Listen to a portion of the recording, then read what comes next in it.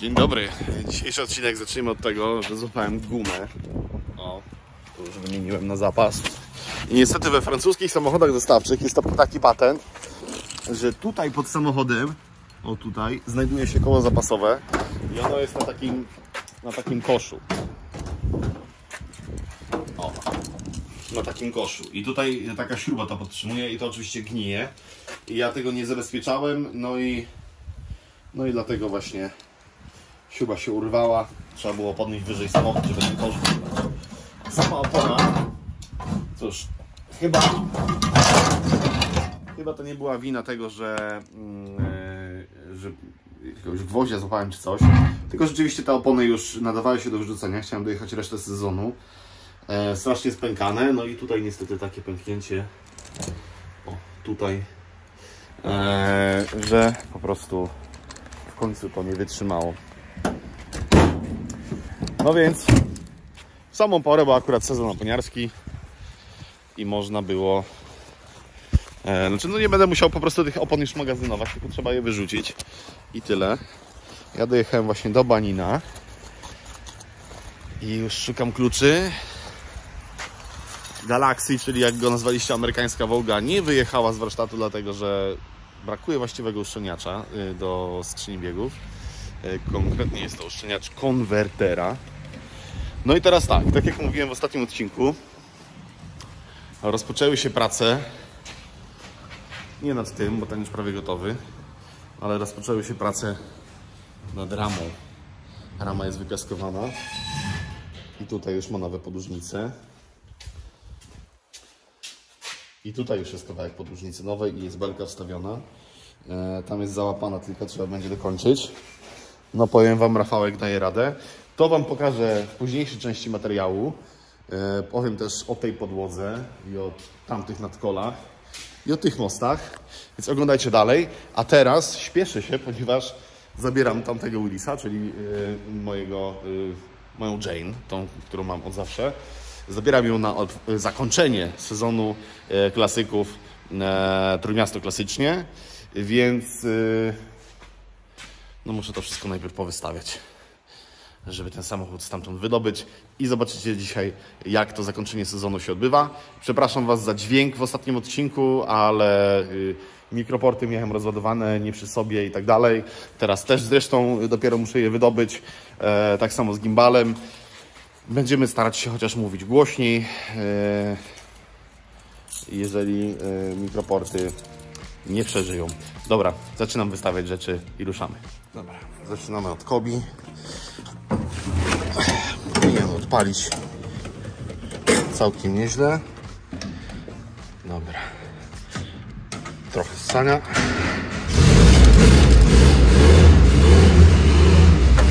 No i to rozumiem.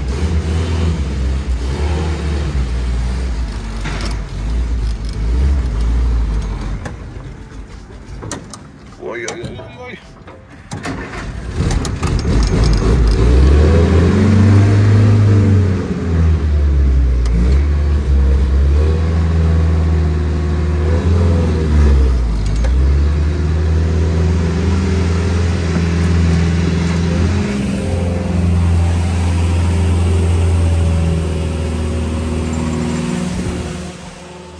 Dobra, teraz przyczepa. ją damy jakoś tutaj, żeby nie przeszkadzała. Obrotnice też. Willis na szczęście jest zwrotny, więc powinno pójść łatwo. Zastanawiam się jeszcze, czy jechać z dachem, czy bez, bo e, trochę mrzy dzisiaj, ale mi to chyba nie straszne. Wolałbym się teraz nie rozchorować, bo mam za dużo roboty. Tablice rejestracyjne trzeba zamontować.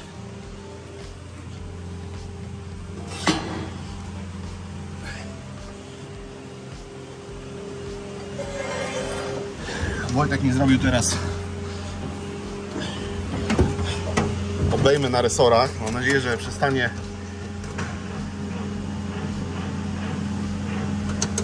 chlepoczeć. No.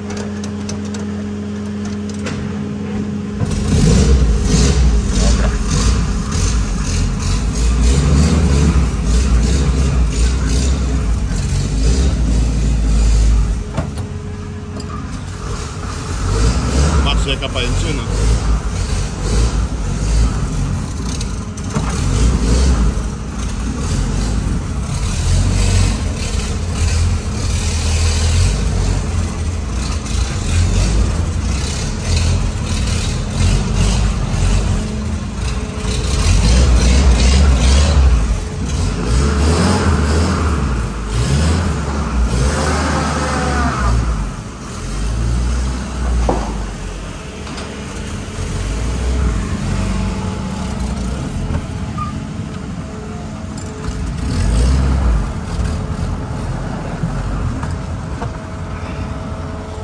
Dobra.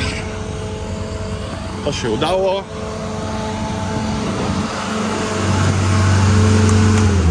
Zjeżdżamy Kobi. Kur już się nagrzał.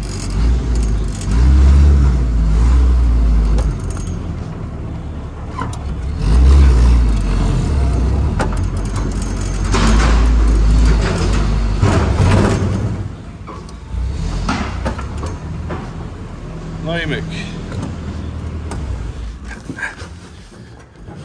Mamy załatwione. To teraz jeszcze jakieś trytki, żeby szczepić te tablice.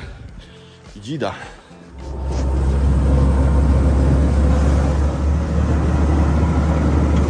No dobra, jadę. Teoretycznie za pół godziny się zaczyna impreza. Jeszcze muszę pojechać do Brzeźna, spotkać się z Pawłem i z Wojtkiem, żeby zrobić wspólny wjazd. No i zobaczymy. Parę kilometrów przede mną. Teraz mamy 1809 mil na... Tak, 1809 mil na, na liczniku.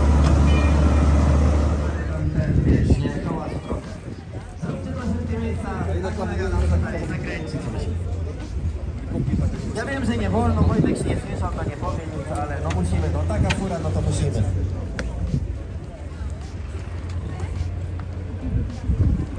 Jasne. Ja się nie... Uwaga. Auto konkursowe.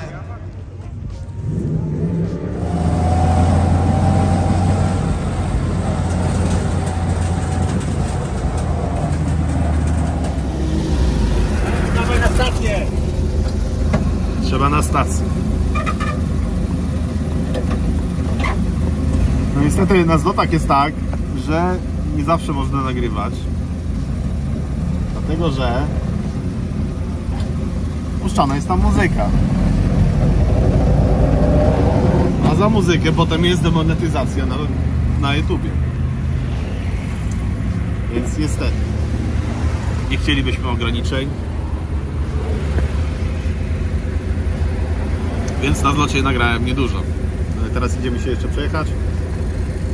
Zatankować najpierw. Mi coś grzocze w silniku, nie wiem co. Ciśnienie oleju mam, temperatura jest ok. Ale coś grzocze.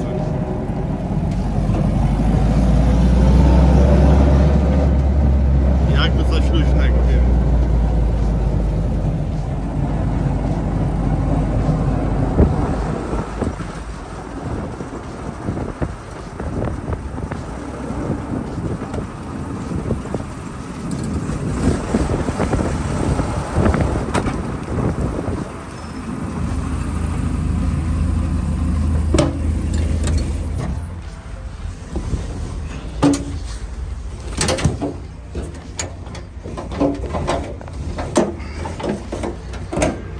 Zwykle trochę mało.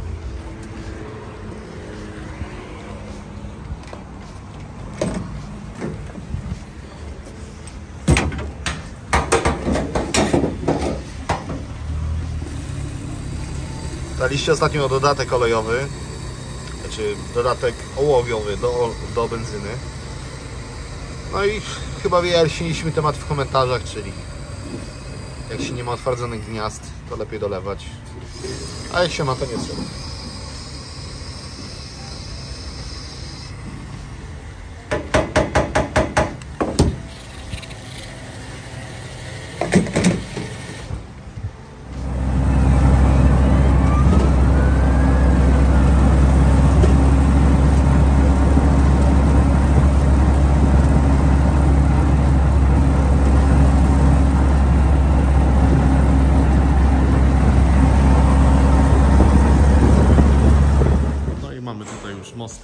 padzie i sporo innych elementów. Natomiast tu jest rama, ale o tym za chwilę. I chodź Rafał, powiemy, co tu się od Janie Pawła z karoserią, którą budujemy dla pana Zbyszka. Zbyszek przywiózł, przywiózł e, trochę części filipińskich. E, I oczywiście to nie jest pana Zbigniewa wina, bo kupował oczywiście części w dobrej wierze. Natomiast zobaczcie, co tutaj się dzieje. To są nowe elementy. Nowe zamienniki, które są szpachlowane. Właśnie. Nowe części, które powinny być po prostu pozgrzewanym kawałkiem metalu, tak naprawdę okazuje się, że są poszpachlowane. Fakt, że tutaj jest jakiś podkład, jakaś farba nawierzchniowa, no ale, Ale to samo jest na filipińskich częściach. To umówmy się. Nie, to jest filipińskie. Też? To są wczesne Filipiny. A. Czyli wczesne potrzeby też były szpachlowane. Tak. Może To, fajnie. to, co, to, co już też używaliśmy, także.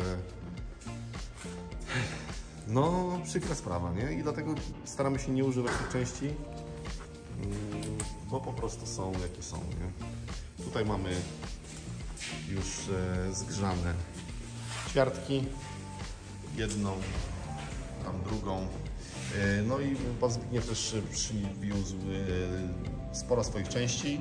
Okazało się, że niepotrzebnie kupowałem mu tylną podłogę e, czy wanienkę, więc użyjemy pana Zbigniewa części, tylko po prostu będziemy musieli więcej się z nimi napracować.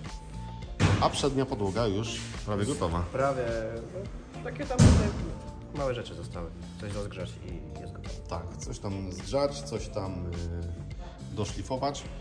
Natomiast jest to połączenie y, brytyjskiej podłogi nowej z oryginalnym tunelem, z Rafała tutaj pracą na środku, żeby, żeby można było to w ogóle wykorzystać. Te boki mamy już też zrobione. Tak, oryginalne są wzmocnienia, Naprawione, naprawione. ale oryginalne. Dobra, to to jest to. I nowy bok. Tak. Chciałem tą burtę teraz I tutaj jeszcze są pana Zbigniewa y, wzmocnienia, które, które miał kupione wcześniej. Tylko, że w nich były tulejki i one nie mogły tu być. I już ich nie ma i jest drewno. Tak, tak jak to powinno być. Dobra. No i trzeba ten ran skoczyć, bo jest za duży. No właśnie. Nie wchodzi w naszą ramę, to jest niż. Dobra. Między. Dobra. I co? Plan jest taki, że wymieniamy te mocowanka, które były tutaj. Widać, co jest pod spodem zresztą. to były takie mocowanka niepoprawne Bardzo słabe, bardzo i słabe. bez farby. No, I jakiś tutaj taki dziwny otworek. Nie, tu na tym drugim chyba. jakiś otworek na środku. To jest O. wytłoczenie był. Pewnie to było przykręcone na blachowkręt i wtedy było Skrzat. e, zgrzane, czy no to chyba zgrzane było. A chcę od razu to wymienić, żeby spasować to na poprawę. Chociaż to wygląda na spaw, więc chyba było spawane jednak. No tutaj trzeba to oczyścić. Będziemy wiedzieć, co się dzieje. Dobra. Trzeba poprawić takie tam rzeczy i można to pasować. Bo jest mi No teraz właśnie. potrzebne, żeby ustawić wysokość y, Tył. tyłu. Dobra. Dobra. Ty, Ale chcesz szukać śrub do y, tego. A, y, będziemy mieli te nity ramy. A, no to super.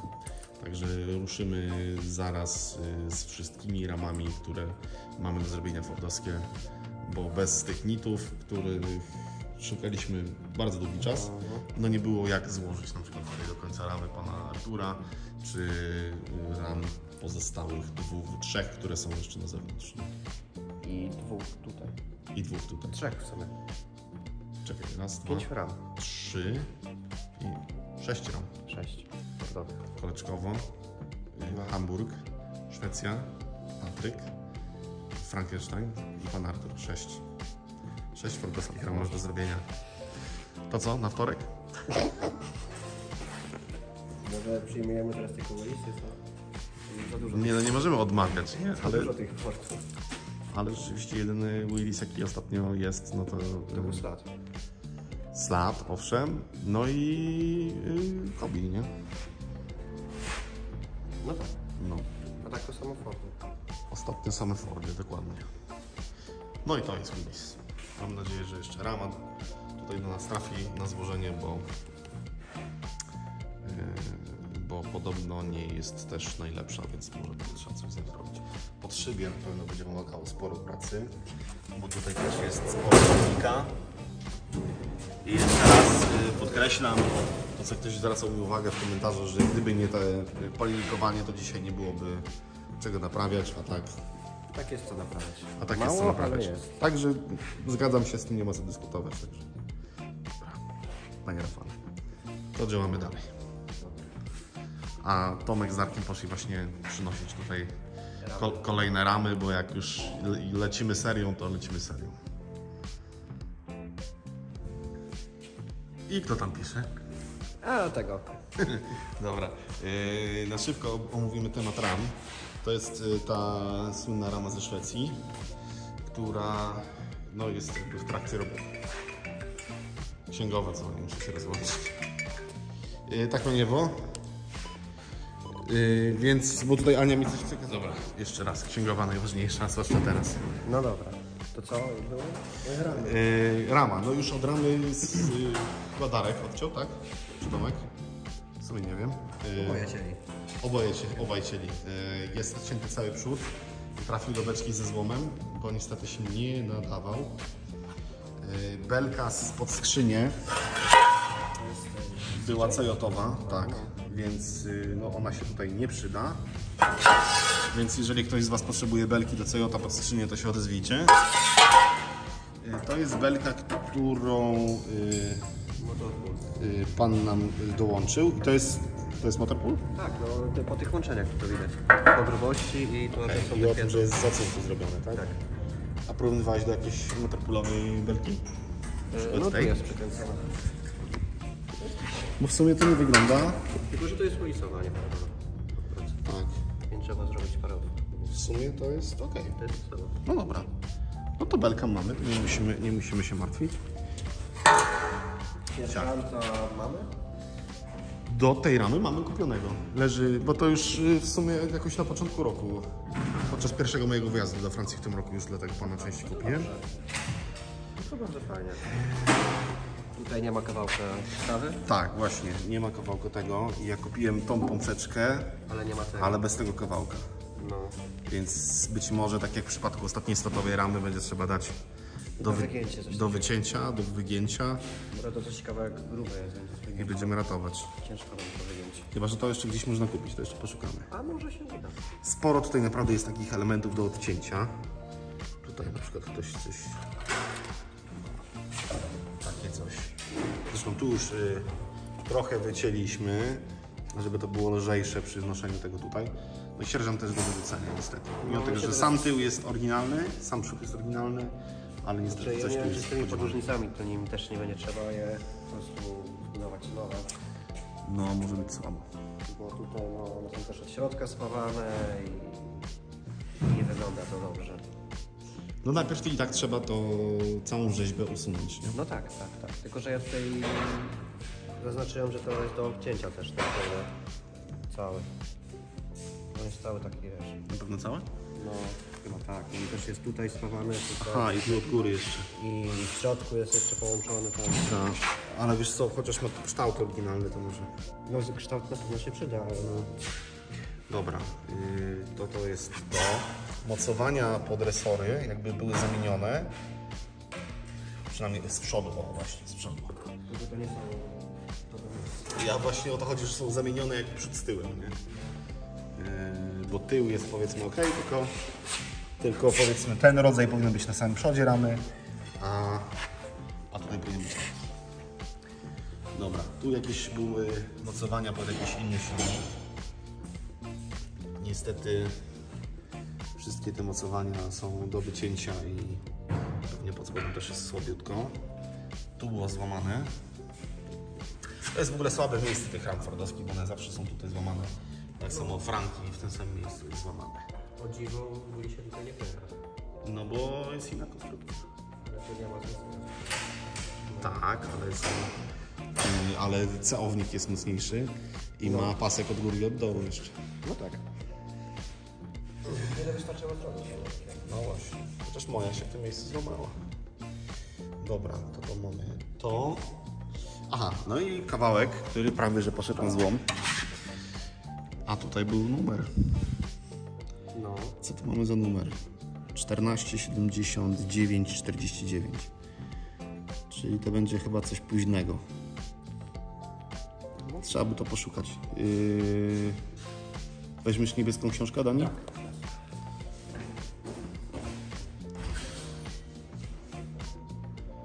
147 949. Także zaraz się dowiemy, jakiej produkcji jest ta rama. Zobaczcie, tutaj w środku są jakieś różne wzmocnienia. Ona w ogóle była bardzo ciężka ta rama, yy, bo bardzo dużo żelastwa do tej ramy było przykręconego. Dobra, idziemy na Willisa. Przepraszam, na Forda. Oktober 42. To będzie później. Chassis. Tu jest jeszcze 208 330. To wcześniej.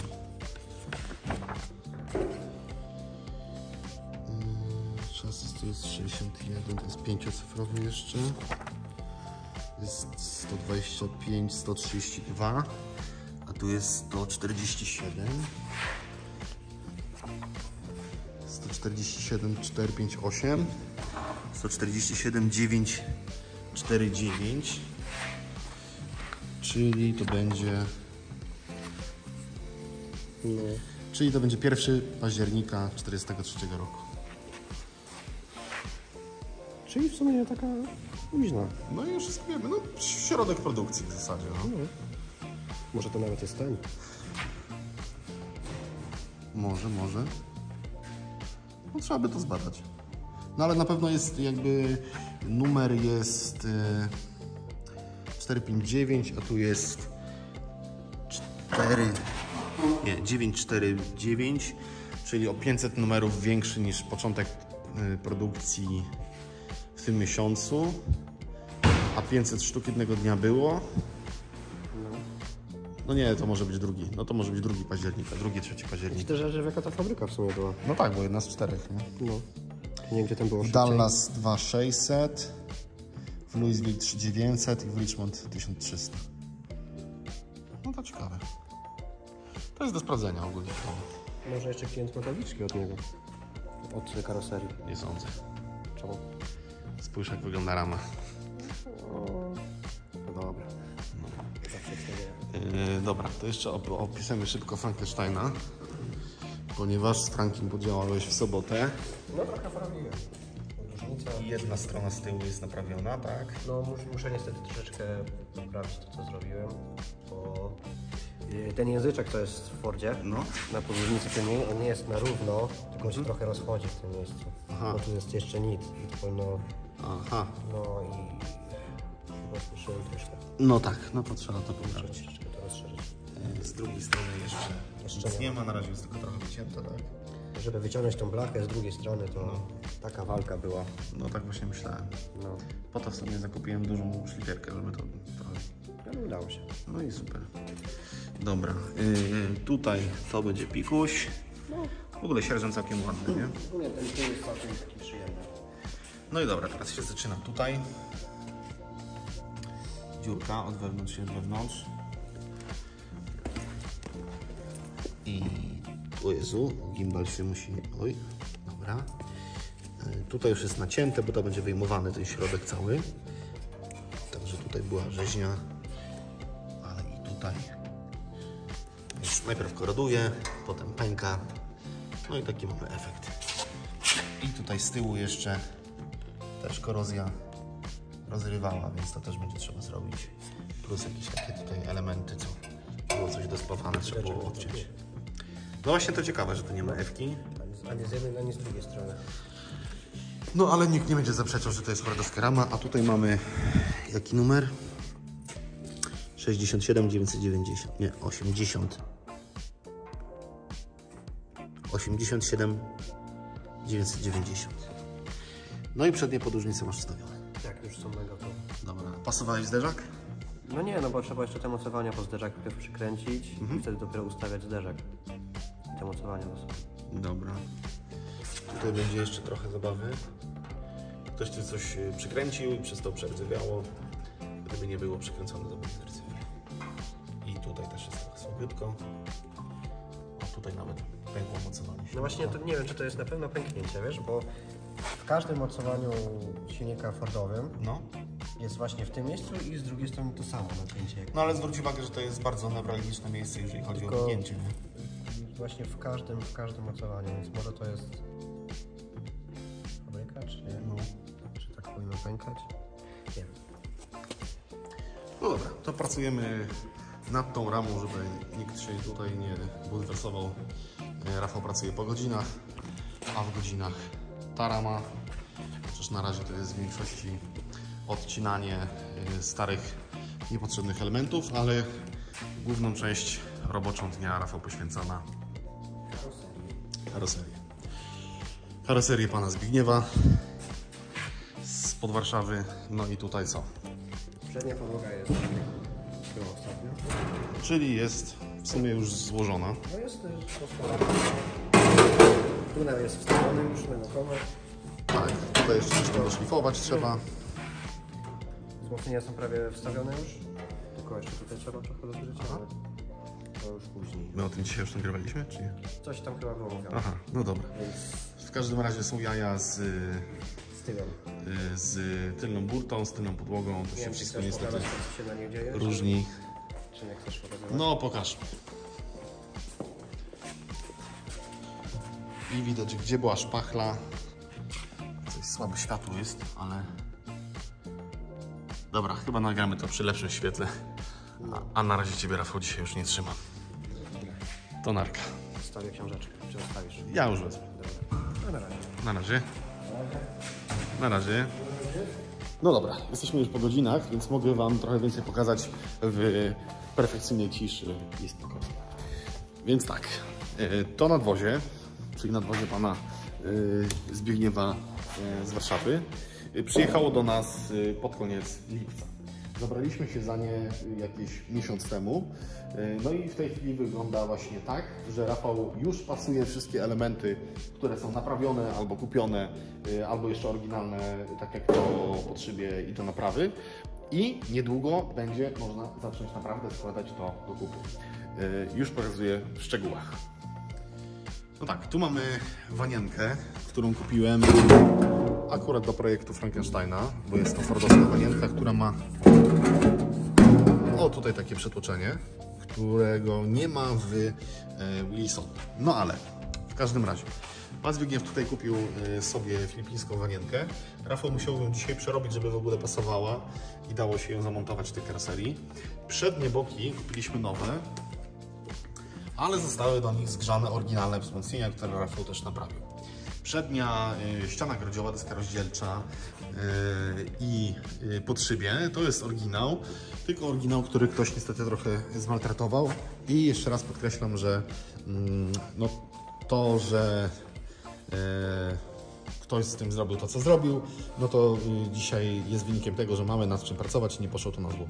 Ok, ale tak trzeba będzie to naprawić. E, Na szczęście jest to w przypadku tego potrzebie wykonalne, natomiast w przypadku tylnych nadkoli wewnętrznych, tylnej burty, e, podłogi, czy większej części tylnej, przedniej podłogi, e, no nie było możliwe. Więc tylne zewnętrzne boki są naprawione, tak jak wcześniej Wam pokazywaliśmy. Przednie są nowe. No i Rafał zaczął to już wszystko pasować.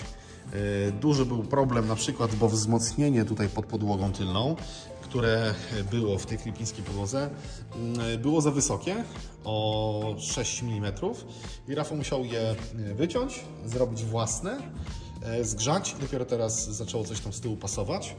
Jeszcze będzie trzeba tutaj naciągnąć, żeby trochę ten przód, z tyłem e, do siebie pasował i to nadwozie tak naprawdę no, w ciągu kilku najbliższych e, dni, no i pewnie też tygodni będzie gotowe. E, no i mam nadzieję, że oczywiście do, dostaniemy do tego jeszcze ramę, żeby można było ją też zrobić tak jak trzeba. E, Mamy na pewno błotniki, maskę, ramę, szyby, grill. No jest tutaj jeszcze trochę pracy. Wiadomo, zawsze trzeba zacząć od wanny, bo od tego się wychodzi dalej. Rama Frankiego, no to tak jak przed chwilą widzieliście materiale, no jest e, w trakcie roboty. No i jest też rama e, ze Szwecji, która e, jest w trakcie obróbki. Sporo trzeba było wyciąć. E, ale no cóż, będziemy w stanie, będziemy w stanie to uratować. No o tym to zobaczycie oczywiście u Patryka na kanale, ale jeszcze wracając do Frankiego, mamy tutaj przedni most, który jest bardzo ładny, fordowski.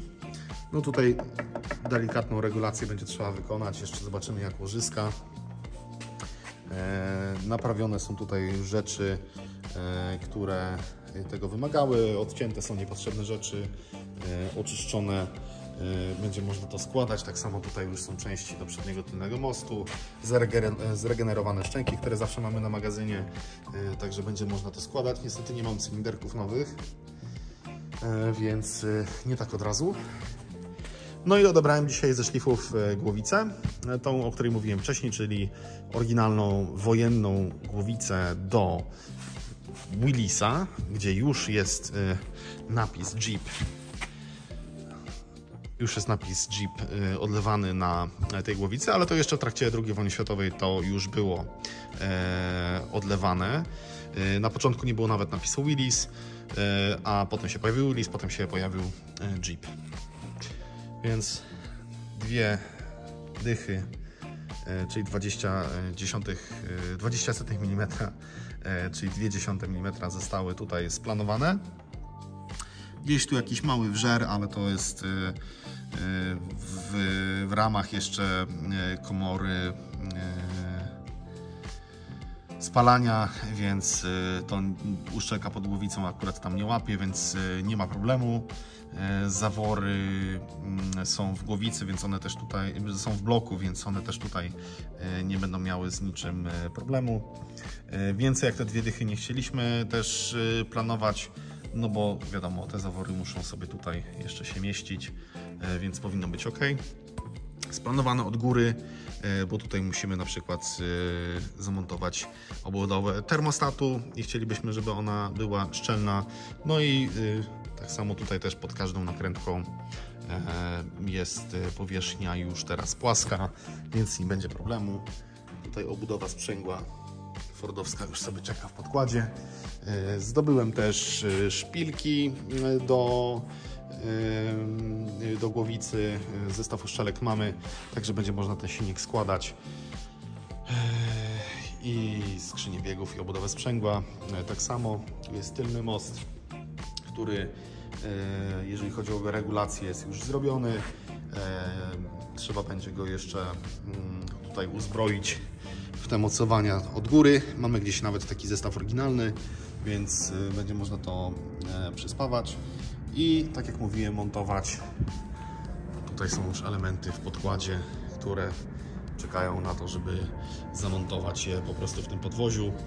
E, brakuje nam jeszcze resorów. Tu mamy układ kierowniczy. E, no i co, jak będą resory, opony mamy, felgi trzeba jeszcze wypiaskować. Niestety dzisiaj dostałem info, że e, prostoda Trójmiasto już się zamknęła w starej lokalizacji, więc e, będę musiał gdzieś szukać e, jakiejś innej piaskarni na szybko. Tutaj jeszcze tylko pokażę bębny hamulcowe z Frankiego są rozebrane i gotowe do tego, żeby zanieść je do naszych sąsiadów do high-techu na przetoczenie, żeby były płaskie, bo mają ramty. E, no i co? Rafał weekendami pracuje przy ramie i słuchajcie, jest nieźle. Na zakończenie, bo dla nas też kończy się dzień. Trzeba powstawiać samochody. Zaczniemy może sobie od kobi, proszę bardzo. Skoro w sumie od tego zaczynaliśmy odcinek,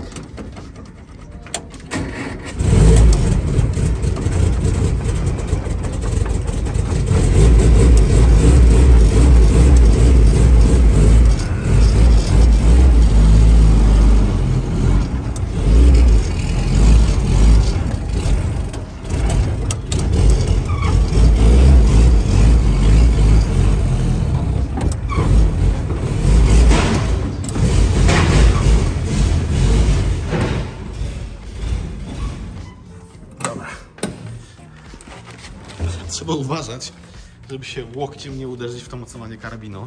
Ja to właśnie zrobiłem i no powiem wam, że trochę boli. Nawet bardzo boli. No ale cóż. Tutaj Dodge'a sobie czeka na lepsze czasy chyba, bo na razie się nie szykuje, żebym ją budował. No Zobaczymy jak mój odpali.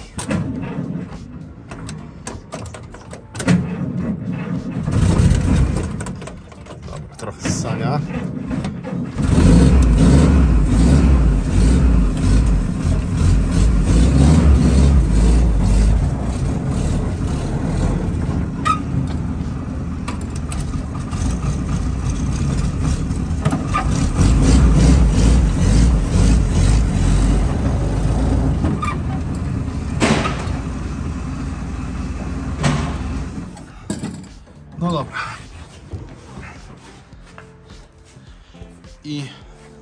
zaparkowane na noc.